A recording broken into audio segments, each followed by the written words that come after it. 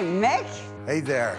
What do you think of the place? Ah, it's incredible. Look at this. What's up, man? What's going on? it's been so long. It's been a while, right? Yeah. I very first met Mick before I was in WWE. I met him in early 93, 94 when I first started Super Green in the business. You know, it was Mick Foley who was willing to help a young guy that uh, was just trying to find his way in it. Well, when did you guys start realizing that this was stuff that needed to be archived? Well, we're the caretakers of the business. And of all the stuff we have here, there's so much we don't.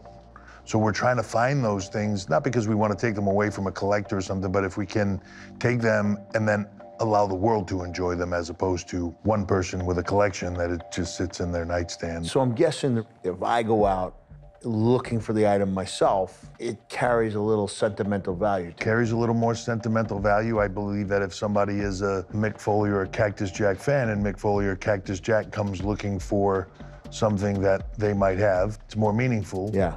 And I would think also if I'm there in person, I can authenticate. Yeah. Right. Mick, if you could characterize or capture your career using artifacts, what would you see in your tribute case? I see that you have some dude stuff here, but I'd love to see all the characters represented. Yeah. Cactus Jack, we're talking about a vintage flannel vest. Not the one you're wearing. Not, the one I'm wearing. One Although that I, very similar. that would be a real big find. And as far as mankind, here's the thing: we've got a mask. You know, I Yeah. made sure that I shipped the company a mask, Yes. But I'm missing that original shirt. The original mankind shirt was made from leather. That's out there somewhere. That would be the highest priority item. And the other thing. There are a handful of vintage Sockos out there, and I'd love to be able to track that down. When I debuted as Mankind, I did not know what my name was. Oh, wow. I was given an information packet that just said mutilator. And I come down to the ring, I hear Mankind. But that's how I got that name. That is cool. Yeah. Yes, here it comes.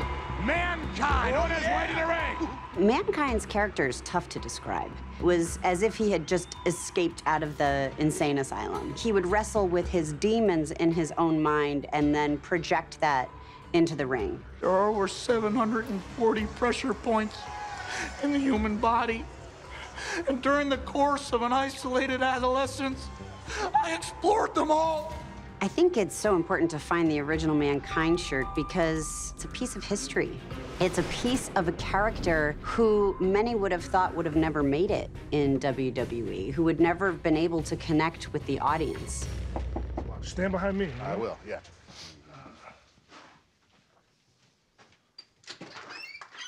AJ, how's AJ it going, Francis. man? Nice to meet you. Nice to finally meet you. I actually brought a surprise. Hope you don't mind. I brought- Holy!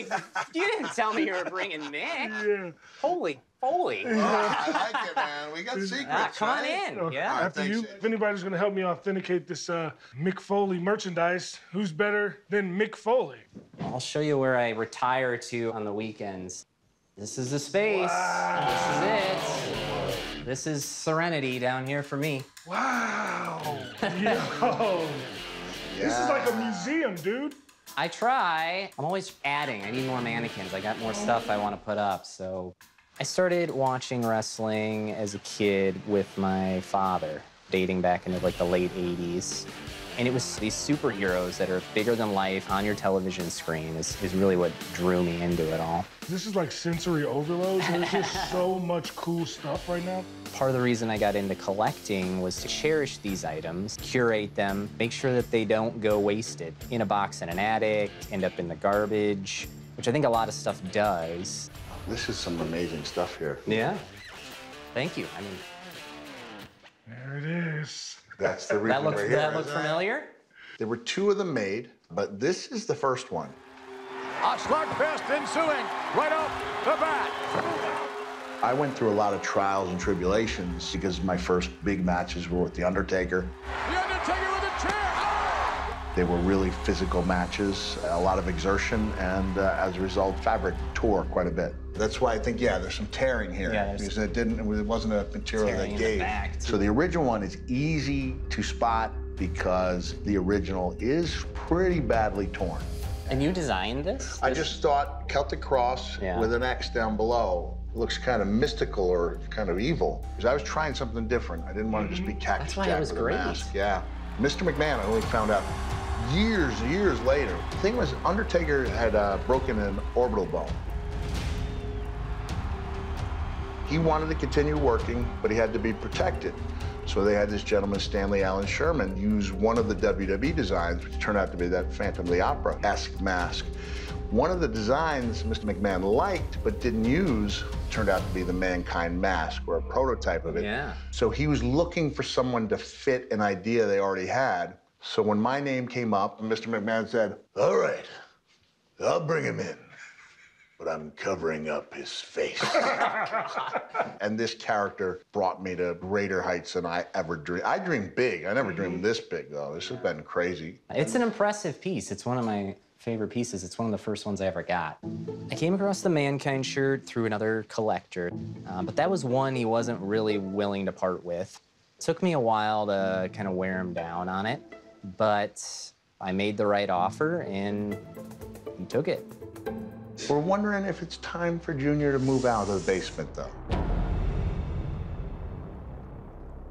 You see how hard I'm staring at it? Like I can't imagine my life without it. I, uh, I'm not gonna come down here and just offer you a handful of nothing. Oh. Oh, Seventy-five hundred. oh gosh.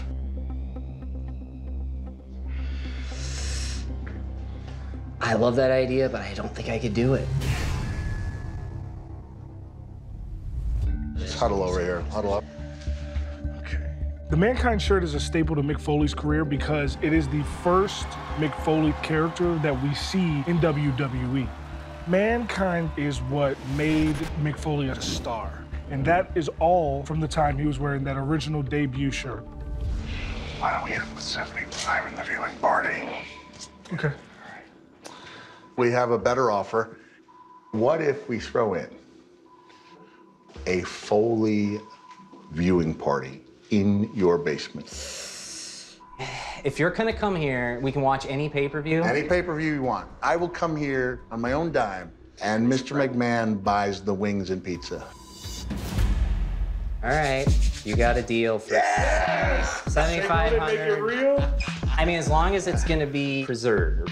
Yes. Oh, we're so happy. It's going to a good home. As long as you don't lose it in the airport, it'll be appreciated. That's all that counts is, is that this stuff gets the attention it deserves. And now I have to fill a new spot in my uh, museum, so the hunt's on for something new. It never ends. Thank you so much, Thank my you, man. friend. Yeah, no problem. Appreciate that.